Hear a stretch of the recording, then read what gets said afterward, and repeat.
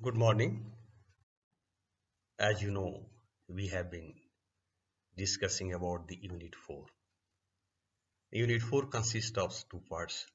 The first is the well foundation and second is the retaining wall. We have completed the well foundation.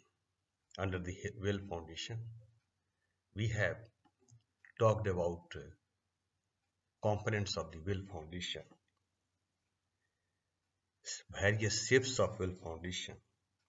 What are the forces acting on the well? And those forces are considered in the design of well foundation. We have also talked about the construction of well foundation and we have also discussed about the tilt and shifts for the well foundation. So well foundation is completed. So today we shall start the retaining wall. So that is called as earth retaining structures. Right. Suppose whenever we talk about the earth retaining structure, that means what? The structure which are going to retain the earth. Earth means soil so there are two types of earth retaining structure. One is called a rigid retaining structure and another is called as flexible retaining structures. We shall talk one by one.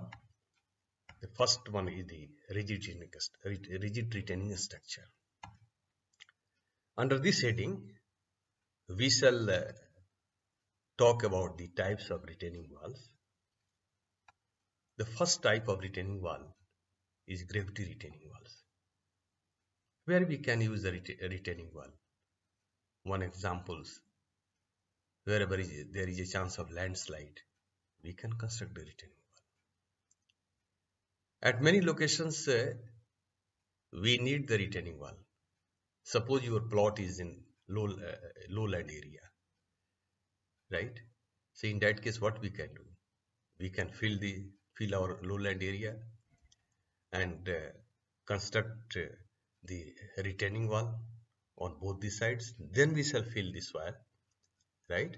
And above the filled up area we can go for the constructions. So what is happening? The retaining wall which you have constructed at your plot is going to retain the soil as well as the structure which you have constructed at filled up area. That means the retaining structure is going to experience horizontal stresses, horizontal force, right? So gravity retaining walls, these walls depend upon their weight of for stability. This is made up of either concrete or bricks, but it takes the load or we can say it retained the earth by its own weight right? And it can go up to 2 meter height 2 meter height. It is constructed by plain concrete or masonry PCC reinforcement is not used right? So it is called a gravity retaining wall. It is not economical for large heights. Why it is not economical? Because you need more concrete right? Because uh, uh, uh, it is going to take the earth load by its own weight next is called as semi-gravity retaining wall in this case you can see the size of the section of a gravity retaining wall can be reduced if a small amount of reinforcement is provided near the back face. You can see uh, in this retaining wall, the back face uh, means right hand side you can see the reinforcement is provided. If we are going to provide the reinforcement, we do not need more concrete. The thickness can be reduced. Such walls are called as semi-gravity walls.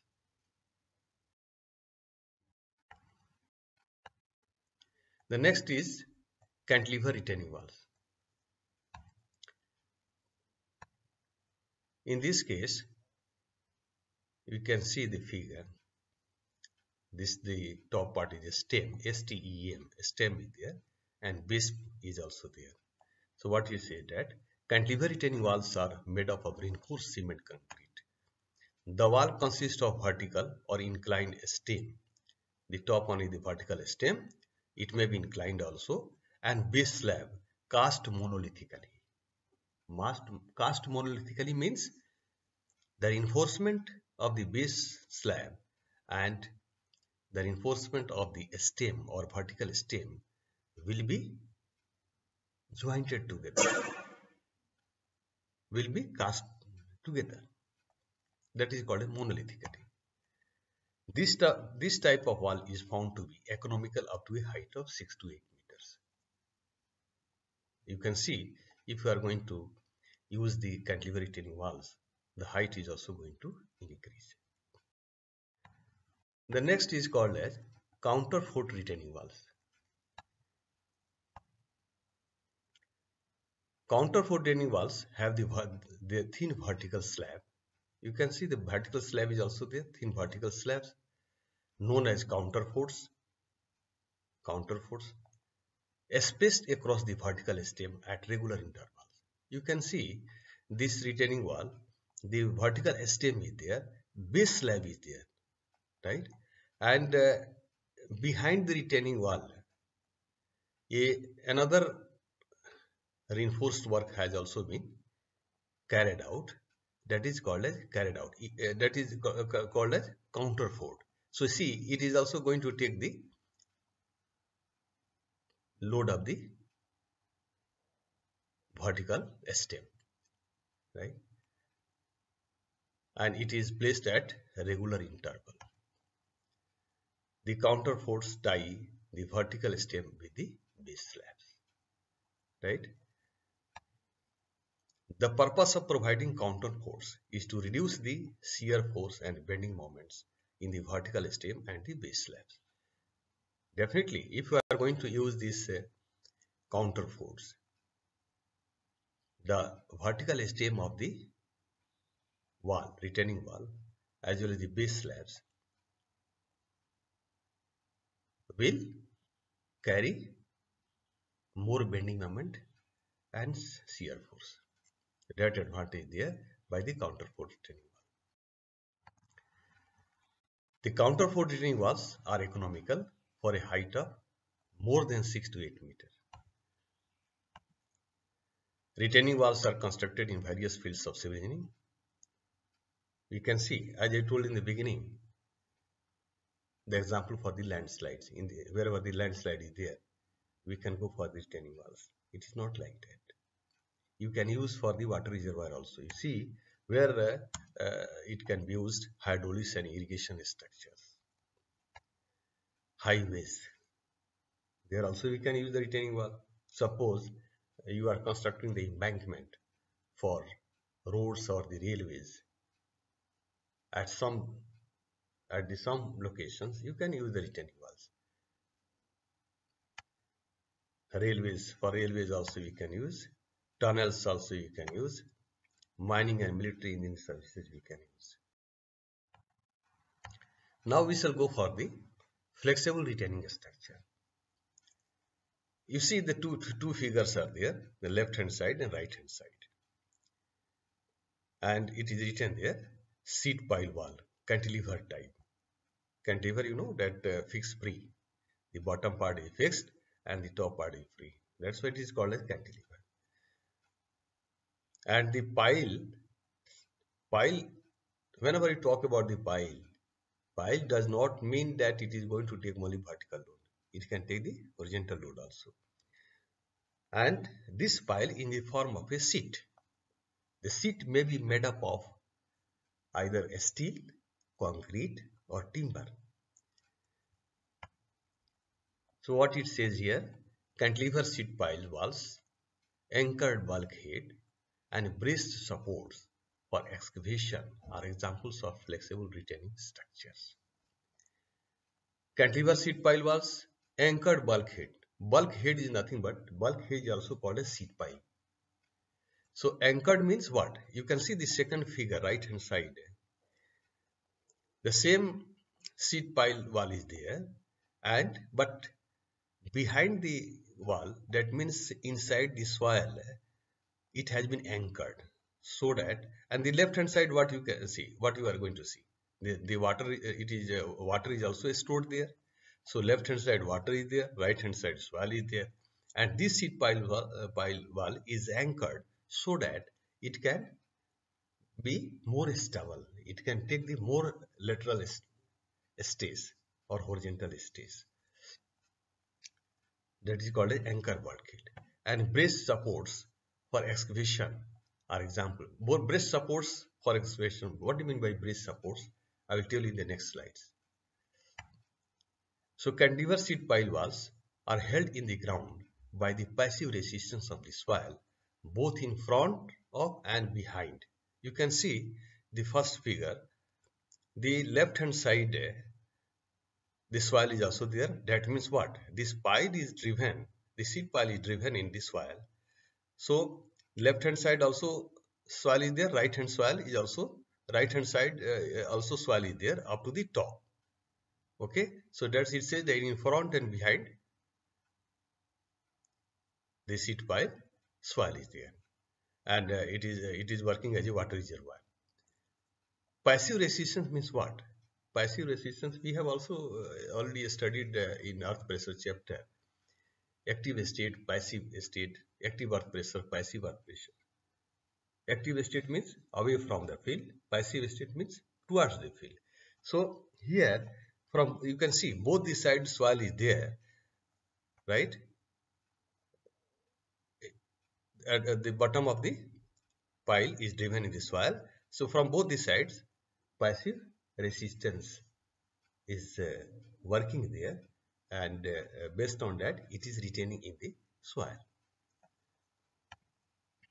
Anchor sheet pile walls or bulkhead is fixed at its base uh, as a cantilever wall but supported by tie rods near the top. As I told in the beginning that it is anchored. The right hand side is anchored so that it will experience, it will feel it will take more horizontal stresses. It will be stable. It, it is not going to damage. You can also say in such a way. Because both the side, the right hand side soil pressure is there, left hand side water pressure is there. You can see the braced cut. What do you mean by braced cut? Braced cut is nothing but an excavation supported by suitable bracing systems are called braced cut. These excavation support systems are used too. Braced cuts means you can see suppose some loose ground is there and you want to go for uh, the construction of shallow foundation. Let us take one example then I will tell you about all the other points. Loose ground is there. You are going to excavate the soil for the shallow foundation.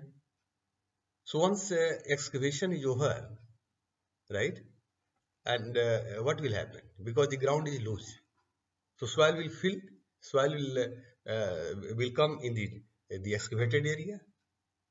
That means what? The excavated excavated excavated part will not remain vacant. The soil will fall in the excavated area or in the trench. So in that case, you will not be able for the further construction. That's why we have to go for the seat uh, supports that is called a braced cut. Braced cut means the cut means the excavation and breast means support. In the simple way you can understand. Breast means breast, breast means support and cut means excavation. The support which you are going to provide in for the excavation is called a braced cut. You can see what are the various supports are there. Sheet piles on the both the sides of the both the sides sheet pile is there and the struts is also provided the well well is nothing but this is a longitudinal wooden plank has been given for the support right? So three things are there in these braced cuts. What what benefits are there by the braced cuts? Minimize the excavation area. Keep the sides of deep excavation stable. Suppose on the left hand side or right hand side this ground is loosed but on the left hand side and right hand side some structures are already constructed and you are going to excavate this soil. And the ground, the, the ground is loose. What will happen? The soil will come to the excavated area. And the the foundation the structure which is available adjacent to this excavated area will also become weak right? So once you are going to provide the sheet pile wall on left hand side and right hand side the structures will also feel support so that that that means keep the sides of deep, uh, deep excavation as a, a excavation stable. Ensure that movements of soil will not cause any damage to the neighboring structure which i told you our utilities of the surrounding grounds. The left hand side and right hand side whatever the structures are there they are not going to be disturbed. And we shall put the support using the sheet pile wall studs and then we can uh, go for construction in the excavated area. So this this uh, uh, is called a braced cut. Braced cut means the cut means excavation. The excavation which is going to be supported is called as braced cut. In a simple way you can understand. Now we shall go for the what are the types of sheet pile walls we, we, we have been talking about the flexible structure, flexible earth structures. What we saw, in case of braced cut also, we need the sheet pile. In case of uh, the cantilever sheet pile or anchor, anchored bulkhead, bulkhead is nothing the sheet pile only. We need the pile, sheet pile in the form of a seat we can see. So what are the various types of uh, uh, uh seats which are available? or uh, being manufactured uh, manufactured in the different factories in the form of a seed pile. So based on the materials, timber sheet piles are also available. The timber piles are mostly used for temporary structures such as braced sheeting in cuts that means in excavated area where depth does not exceed 3 meters. It is used for short spans to receive the lateral, light lateral loads. Right? You can see the right hand side the figure is there, the wooden plank and how the it is going to be jointed together. If you want to extend up to some more distance, right? You want to increase the longitudinal length. In that case, how it is going to be jointed, groove and tongs joints. If it is used as a permanent structure above water level, it requires preservative treatment, but its span of life is relatively short.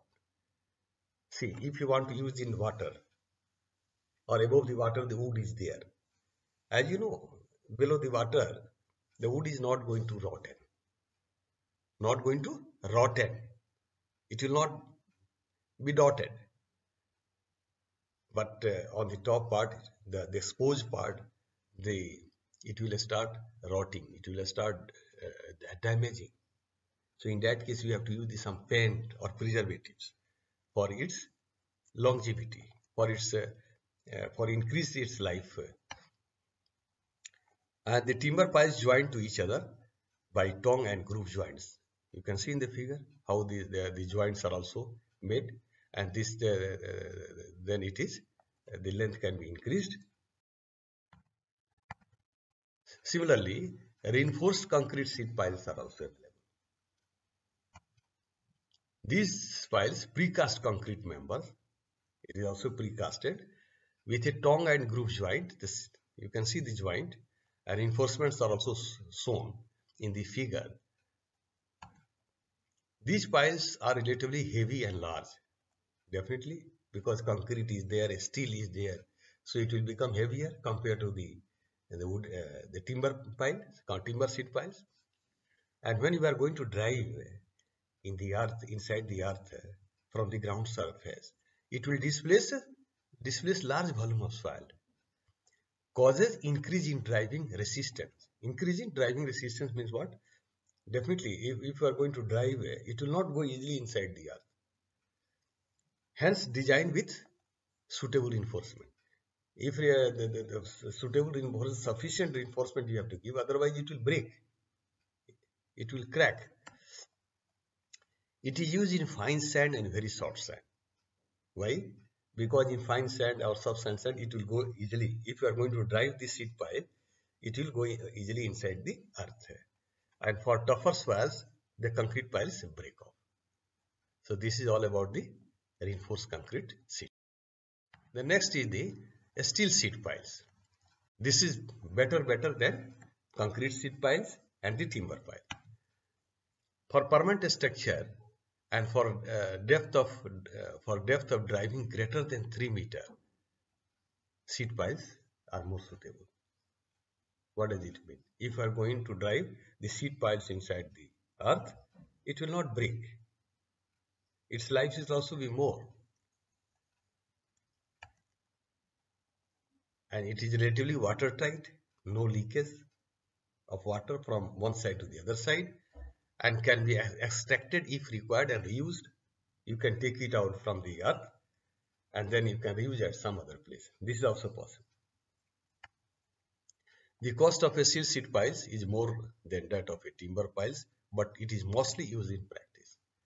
As I told you, the timber pile is also there, concrete sheet pile is also there, but the steel sheet piles are mostly used in practice because it can be driven also easily there is no chance of break right but here also if we have to go for the preservative we can paint it so that its life will increase so this is uh, all about uh, uh, this topic today uh, about the rigid retaining structure and the flexible retaining structures so tomorrow we shall start the new topics.